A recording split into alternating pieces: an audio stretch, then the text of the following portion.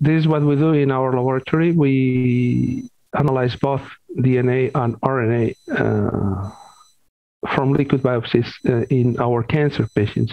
We think that you know some of the alterations or some of uh, applications are better for DNA, and others are uh, in, in other cases RNA is, is uh, should be preferred. But you know they are complementary. They they they will not replace one each other.